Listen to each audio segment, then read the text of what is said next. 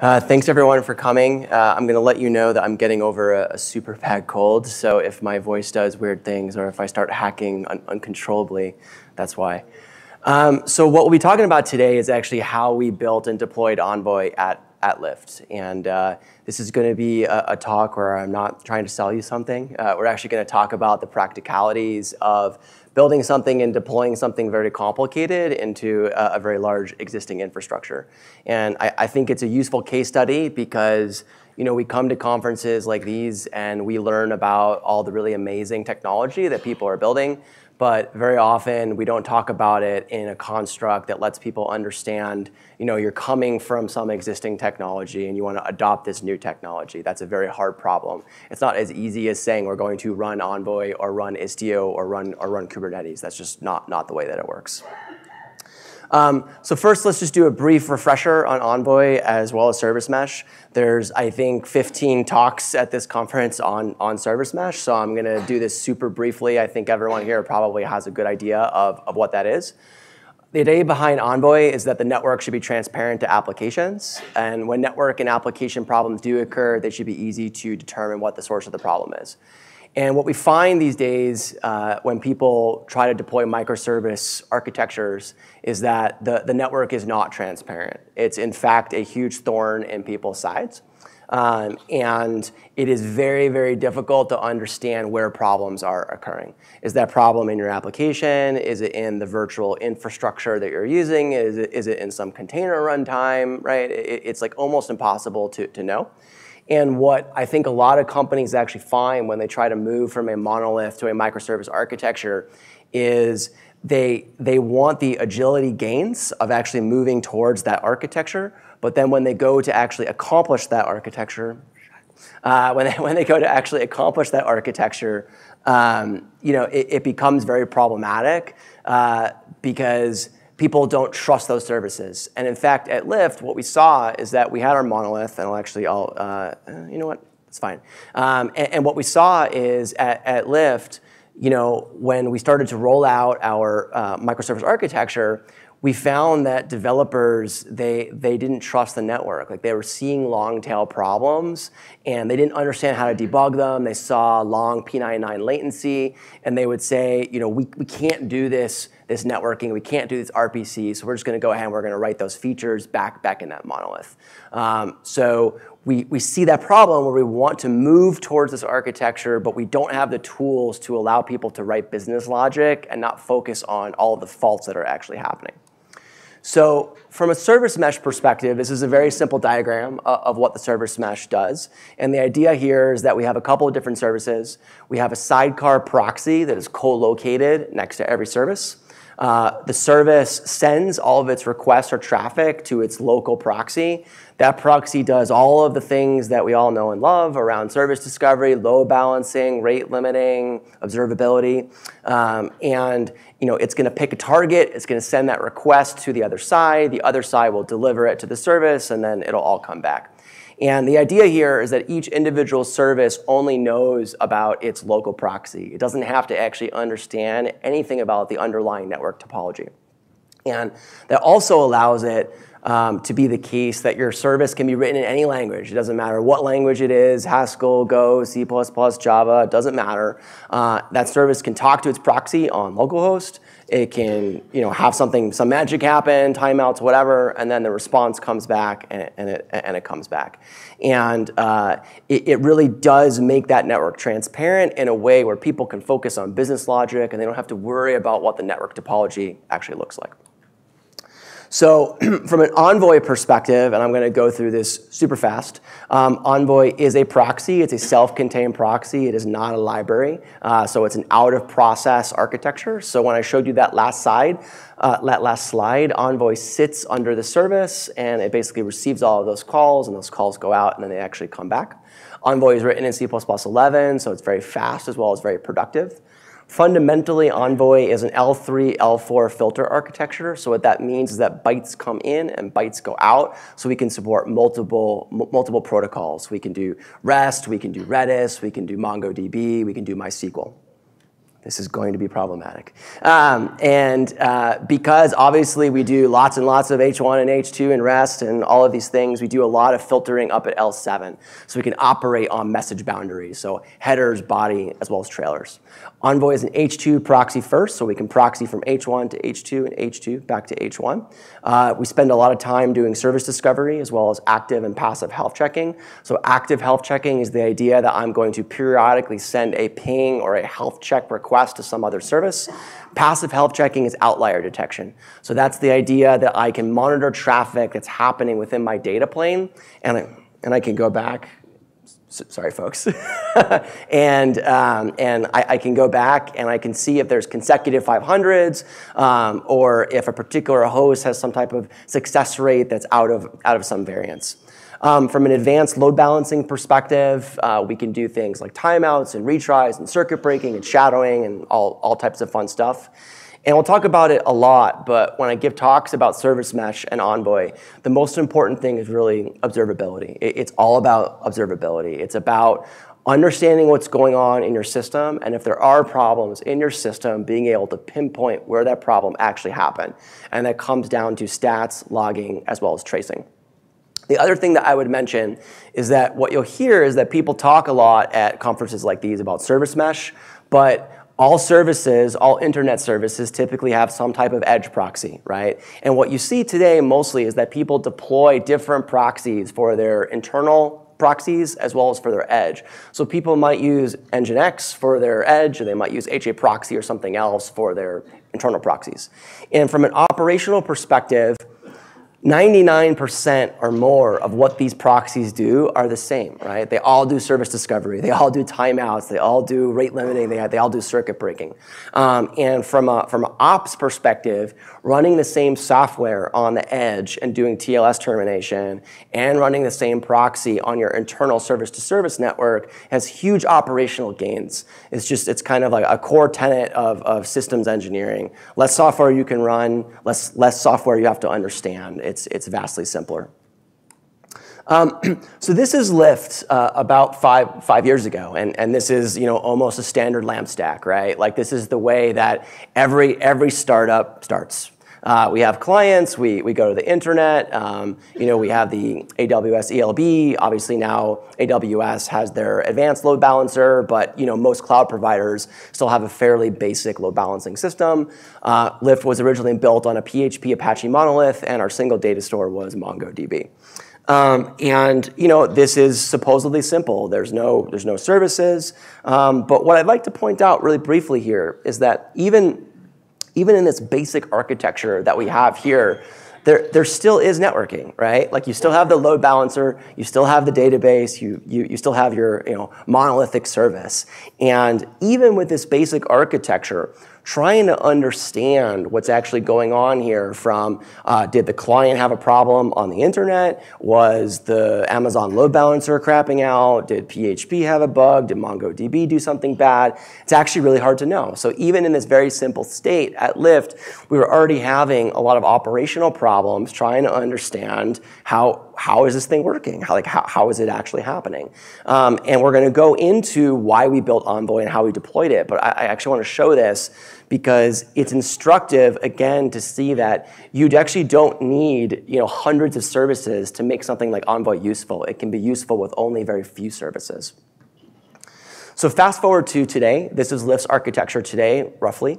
Uh, we still have clients, we still have internet, uh, we have um, a, a, set of TCP load balancers, so very basic edge load balancers.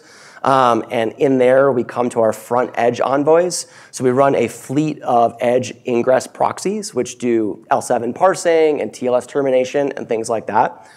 We still have our monolith five, five years later, and probably for, for many more years. Um, we are decomposing that monolith. Um, and we have lots and lots of services written in Go and written in, in Python. And we run Envoy. We have 100% coverage at Lyft. So Envoy runs co-located next to every service at Lyft, and has hundreds of services.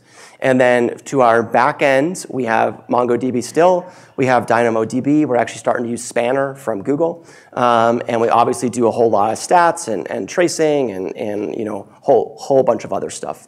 And again, the important takeaway here is that we run Envoy on each and every node. So every hop that we have from ingress to egress, we can have a point-to-point link from stats and tracing and logging that we can look at to actually understand what is going on. Um, okay, so, so that, that gives you kind of the overview of, of what happened. So like I was saying in the intro, um, you don't go from what we had before to what we actually have now. You don't do that overnight. You can't just automatically roll out Envoy on hundreds of services. It doesn't work that way. So what we're going to do is I'm actually going to talk you through kind of how and why we develop Envoy, and we're going to talk about the incremental steps that we took to actually roll it out, and talk about um, you know the things that our developers at Lyft found most useful. Because as you're starting to think about rolling out some of these proxies, a lot of it is actually selling it to your internal teams. And a lot of times they want to know what, what are we going to get out of this, right? Like, is this actually useful? and uh, the, the, the, the, teaser here is that it wasn't easy, it was a lot of work. Um, okay, so what we did is we, we started with the Edge proxy, and I actually talked about this briefly. And almost every internet application has some type of Edge proxy. You, you have clients on phones, you have to get back to your backend services, and from a fundamental uh, perspective, if your app is not healthy at the edge, it doesn't really matter what you do internally. So having, having that observability at that edge location is super important. And we could have a whole long conversation about how it's important to extend that observability all the way out to the client, but that's not, not this talk. But from the Envoy perspective, it's critical that we get good stats out, out to the edge.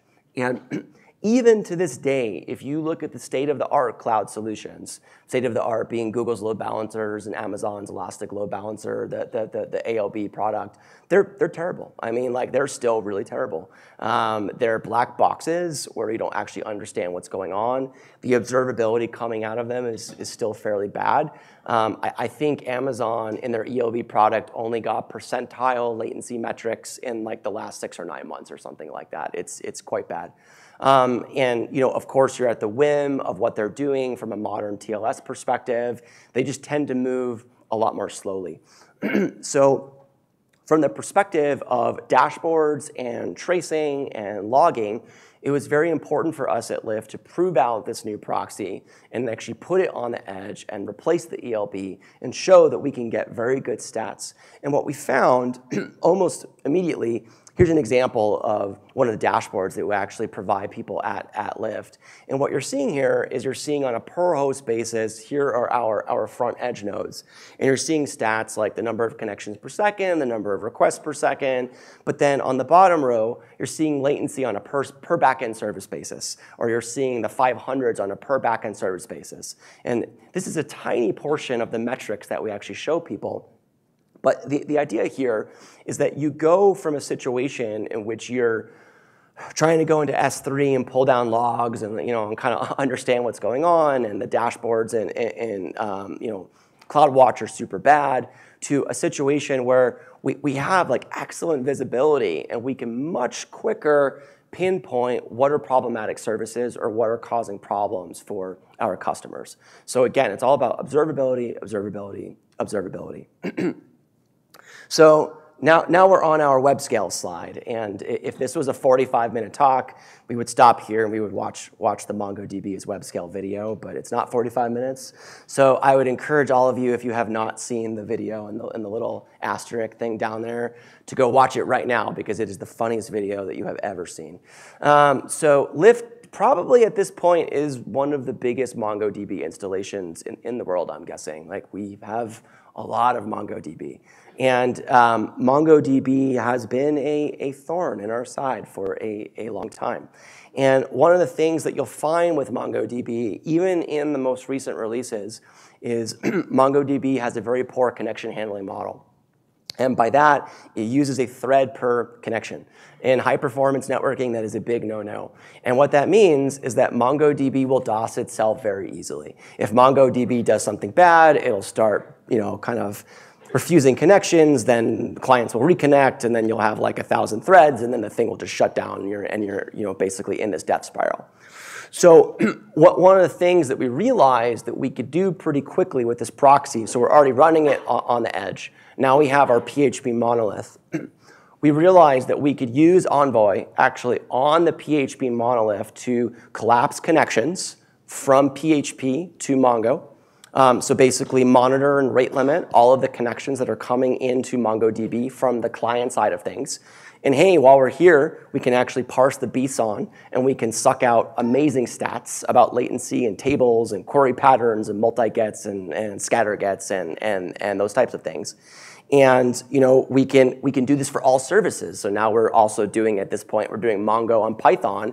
So instead of rewriting all of this rate limiting and all of this great functionality that we built in every Mongo driver, we write it once in Envoy. We point all of the applications at Envoy. Envoy talks to Mongo. And lo and behold, we have no more Mongo outages due to Mongo death spirals. Um, so our current stack still looks exactly like this. So we now talk to Mongo from PHP, Python, and Go. All of that traffic runs through Envoy. and via the Envoy filter chain that I talked about before, we can chain different functionality we can build in stats, we can build in rate limiting, we can build in all of this cool functionality, and we get that for free. The applications don't have to do anything. We just roll it out and it, and it just works. So once we did that, so this is, you know, we're, we're now going back a couple years, and we have Envoy running at the edge. We have Envoy running on our, on our monolith. We're still using internal load balancers from Amazon to actually do service discovery. So obviously, when the edge has to talk to the backend service, we have to find those backend services. So services boots, they, they come up, um, they, they basically register into the, into the load balancer. Um, and then you know the load balancer is, is going to come and actually pick that back. And what you find is that again, like these load balancers, these cloud products, they're you know they're getting better, but they're still their black boxes. And that extra hop from an observa- from, from a kind of an operations perspective, when you have failure, now you have this giant thing in there that you don't know what the problem is, and you have to figure out well, it could have been a bad uh, ELB instance. It could have been the EC2 network. It could have been my application. I have no idea. So you're, you're putting this big thing that's in the traffic path, a single point of failure between any two endpoints. Uh, and that just makes understanding what's happening in that network topology so much more complicated. So, so what we found here is but even with this, even with the, with the ELB in the middle, because we're running Envoy on one side and we're running Envoy on, on the other side, we still get really amazing stats. We still get all of the egress stats from the edge nodes. We still get all of the ingress stats on the PHP nodes. We can do things like buffer so that you know we can deal better with PHP uh, Apache traffic handling. Um, you know, so so so we're we're still getting lots of benefits, but the, the next stage here is that because of what I was saying before, we would like to get rid of those internal load balancers. Those internal load balancers, they make debugging harder. Uh, they're a single point of failure. You just do not want them. They, they, they don't serve any, any good purpose. Um, so we would like to do direct connect. And at this point, obviously, if we're going to do direct connect, we need service discovery. And I'll, I'll, I'll take a little detour here is if you look around the industry, the way that most people, at most kind of internet companies, have done service discovery historically is they've done them using systems like Zookeeper or Consul or, or something along those lines. And these are great systems, they're fine. But what you'll find is that these are all fully consistent systems. They all use leader election, they all require care and maintenance, and they all go down a lot. And you'll find that most big companies have teams that are dedicated to keeping Zookeeper and similar systems running, especially at, at, at scale. So when we started with Envoy, we made the kind of explicit uh, decision that you know, service discovery for networking, it's not a consistent problem. It's an eventually consistent problem. Systems scale up and scale down and things boot and die, right? It doesn't have to be consistent, it just has to converge. So we made the very explicit decision that we would go through and we would build an eventually consistent system. And that system, which we still use today, is about 200 lines of Python and a cron job. And the cron job uh, runs on uh, boot, basically. It runs every minute. We have a service that writes into, into DynamoDB. Um, and then we basically have a sweeper on that table where if a service doesn't check in in X minutes, say 10 minutes, we just delete it. Um, the system is dead simple. We literally have not edited the code in over a year, and we have had zero outages. And because of all of the caching, it's eventually consistent. but because we cache in the service, because we cache in Envoy, and because of this eventually consistent process that the cron jobs write into this system, we have run tests where we have deleted the entire Dynamo table from under the service.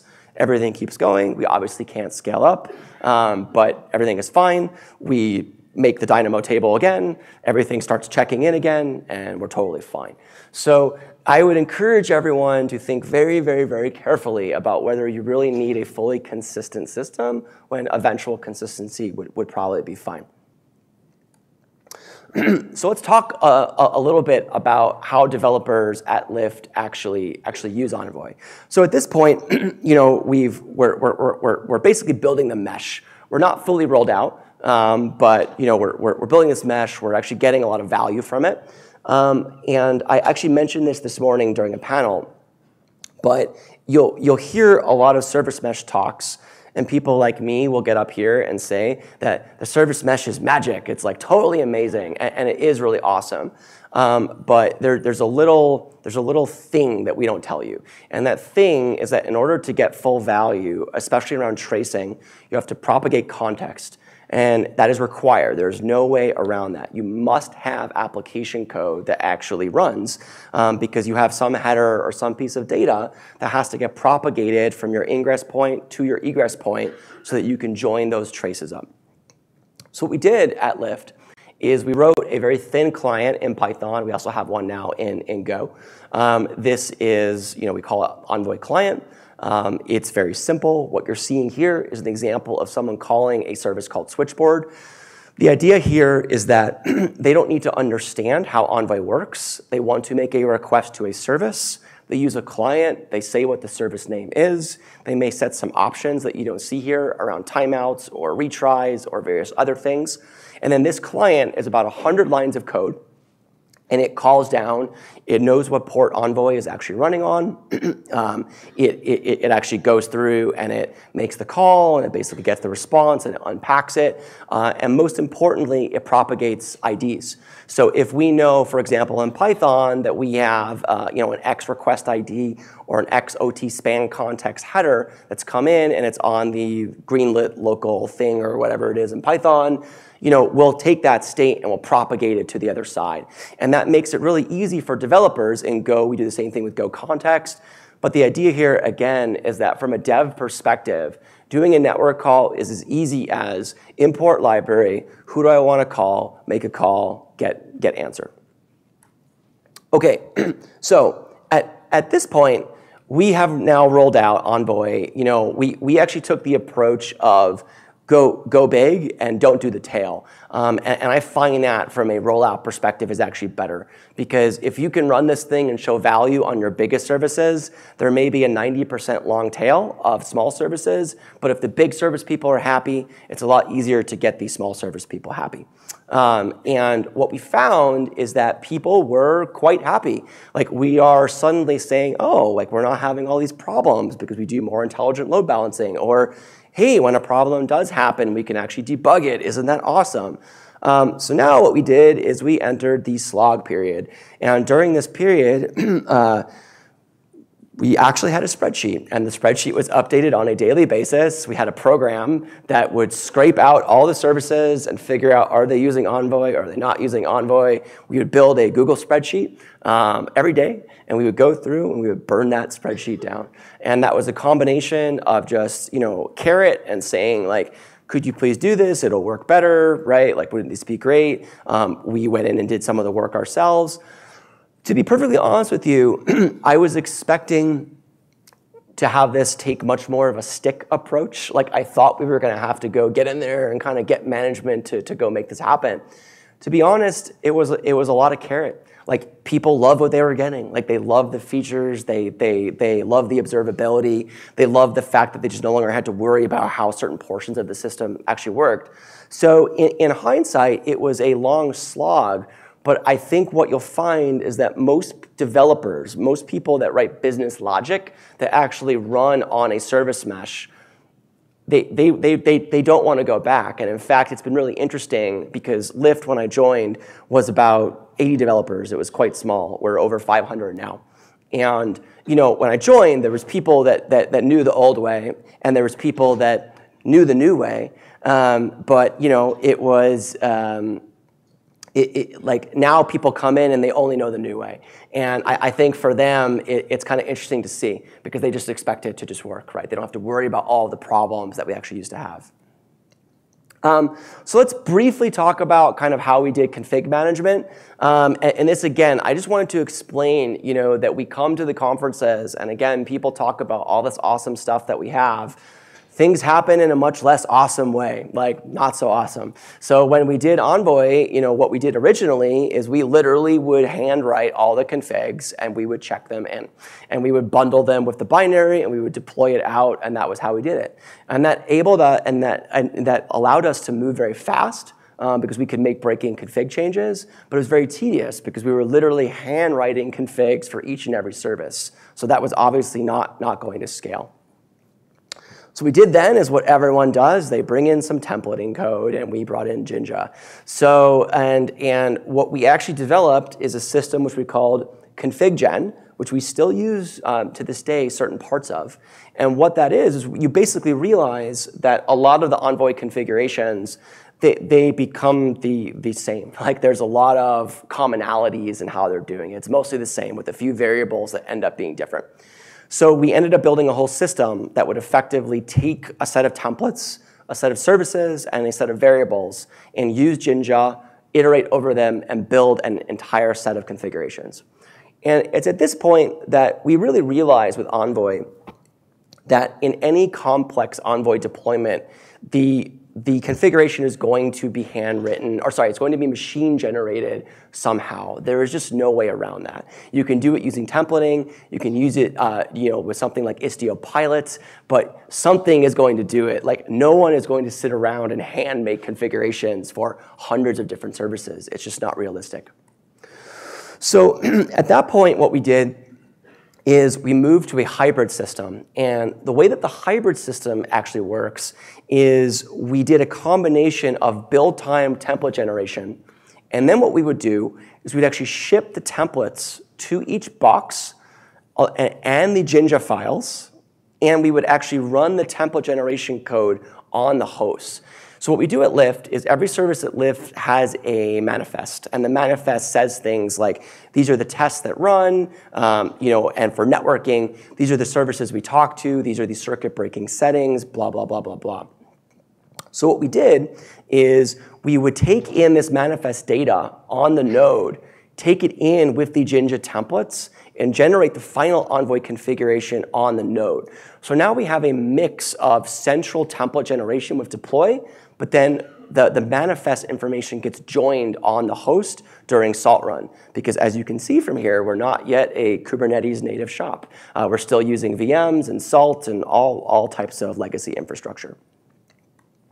So one of the goals of Envoy has always been um, to be kind of what I call a universal data plane. The idea is that we have a set of APIs, we can build a control plane. And the control plane can speak those APIs, and then Envoy will enact those configurations, and it'll do it dynamically. And what that will allow you to do theoretically is have a single bootstrap configuration and a management server, which provides the envoys all of the configuration. So you're kind of now seeing this transition period. We've gone from hand configurations to machine generated Jinja, but now we're moving towards very complex management servers. And you see that with Istio Pilot, and there's actually people that are, that are writing all, all types of different solutions. And in the V1 API, we have a couple of different APIs. We have service discovery service, cluster discovery service, route discovery service, listener discovery service. The idea here is that Ultimately, we allow every aspect of Envoy that would be reasonably reconfigured to be configured by a remote management server. You're not required to use these. So a goal of Envoy is that you take the complexity that you need. If you want handwritten configs, use handwritten configs. If you want SDS only, use SDS only. If you want the whole enchilada, use it. Um, and at Lyft currently, we use SDS, RDS, and CDS. We'll be using LDS soon. Um, and this is roughly what it looks like today. And what you're going to see in all of the other talks that you'll attend here is that this looks a lot like Istio Pilot, which is not very surprising because these things have evolved in, in parallel. And the way that this works is that in Envoy today at Lyft, we have our legacy 100 line Python uh, service discovery thing. We have a new service called Envoy Manager, which is, which is, um, which is like Pilot. Um, and we are now taking in you know, all this information from our legacy infrastructure, from our cron jobs, from our manifests, we're merging them together and sending that configuration to envoys. So over time, the config that we ship to every host is getting smaller and smaller until it becomes a unified bootstrap config that runs on every host, never changes, and everything else comes from those management servers. So that's that progression. But the idea is to understand that you can take still any of this complexity from end to end, um, and, and you can build very, very, cool systems on that. And we're actually now uh, uh, beginning our Kubernetes migration. So you know, this, this will get a lot more complicated as we have our legacy infrastructure uh, and then bring in Kubernetes and juggle, juggle all of it. So, so that will be very exciting. Um, so thank you very much. I thank you for thank you for dealing with my voice. It's very shaky. Um, you can talk to me on Twitter. I think I'm almost out of time. Might have time for one question or so or two questions. Um, my my plug Lyft is hiring. We have lots of good jobs. So if you want to talk to me, please talk to me. Um, and we, we we love building the overall Envoy community. So please join us on uh, envoyproxy.io. So thank you, and I'm happy to take questions.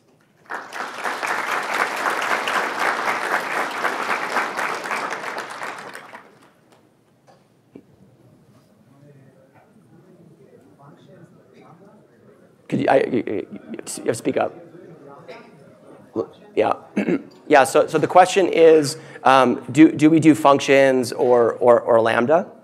Um, currently, no. I, I think that Lambda is, or just generally functions and Envoy is going to be a very interesting thing over the next, you know, probably two to three years, mainly because Functions at Lambda, they, they require networking.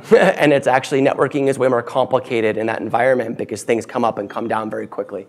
So um, the answer is no, not right now, but I think that's going to be a big area of investment.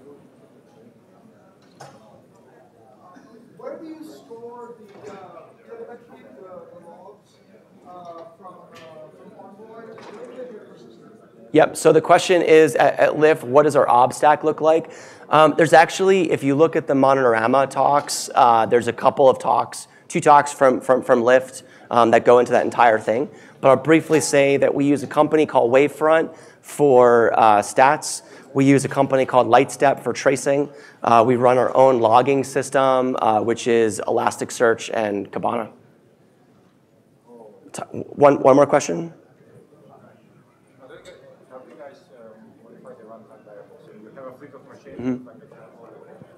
Yep. So, so the question is, Envoy has a system called runtime, which is like a decider or a feature flag system. Uh, it's pretty common that many companies have these things. We just have a Git repo that basically every time it gets checked into, it gets sprayed out to, to all hosts. Envoy does a file system watch. What, one more question? Yeah. You mentioned something about the TCP and MongoDB. Um, if you wanted to run the service layer and essentially provide that TCP direct socket to your Mongo, is that possible?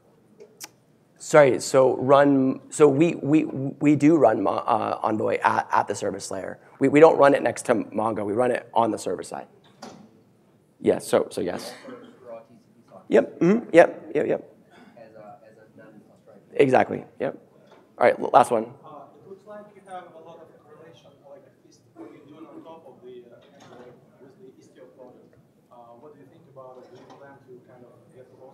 Yep. Yeah, I mean, so we, we uh, so, so, sorry, so the question is, will Lyft move more towards Istio? Um, I, the, the answer is absolutely yes. Uh, I, I, mean, uh, like we obviously have had Envoy for longer than there's Istio. And that's kind of what I was talking about before, is that it's one thing if you're like doing this from scratch, but we have a giant system to migrate, like hundreds of services, millions of requests per second. Like it's not something that we can just, you know, basically move. So the goal for us is going to be to move closer to pilot. Um, I, I, don't know at what time we would use Mixer. That, that's a separate conversation. Um, but the cool thing about Istio is that the components are actually separate. So you know, one can use Pilot but not Mixer, or one can use Kubernetes Ingress but not something else. So yes, the goal is to move towards. So if you would start from scratch right now, you would probably get on board with it. Absolutely. Sorry, I, I have to go, but I will stand outside. So thank you. Yeah.